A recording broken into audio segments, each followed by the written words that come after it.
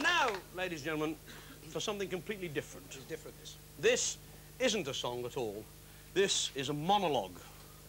A monologue that was performed by a man who, strictly speaking, was born a bit too late to be on the music halls, but he was very popular in the 1930s and the 1940s. A man named Robb Wilton. I'm subject to colds and they send me quite deaf, and then I can't hear what you say. a fellow once offered to buy me a drink, and I heard that with a cold, by the way.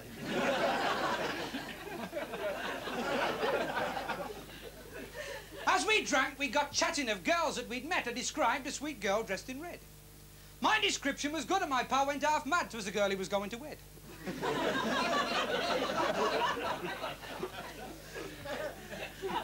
he said, I'll punch your head. I said, whose? He said, yours. I said, mine. He said, yes. I said, oh. He said, do you want to fight? I said, who? He said, you. I said, me. He said, yes. I said, no. So we then got to words and he said, you're a cat. I said, cat. He said, yes. I said, who? He said, who? I said, yes. He said, you. I said, oh. So of course from then on I knew.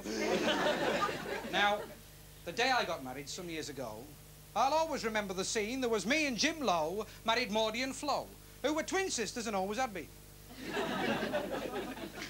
we were married all right at a quarter past two, but somehow we must have got mixed. Jim said, which is mine? I said, oh, never mind, let's get the bloody thing fixed. he said, have you married Flo? I said, Flo, I don't know, but whatever have, you've got one. he said, I wanted Flo. I said, oh, is that so? Well, your only chance is just gone. He said, did you know that you'd married Flo? I said, no, I don't know that I knew. He says, you've married mine. She's got 10,000 pounds. I said, well, never mind, she'll do. Now... now, a sail on the sea is a thing that suits me, and I've done some sailing, it's true. But I was at me wit's end one night off Land's End. It was a night when I'd had one or two.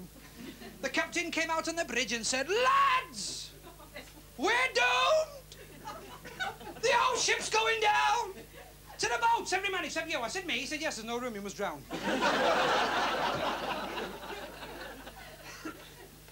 I says, drown? He says, drown, the old ship's going down. Don't stand arguing there. I've just told you straight, there's no room for you, mate, in the boat in fact anywhere. He said, I know it's upsetting. he said, I know it's upsetting, but what's the use fretting? We might have lost all of the crew. But now, like I say, we can all get away. We only lose one, and that's you.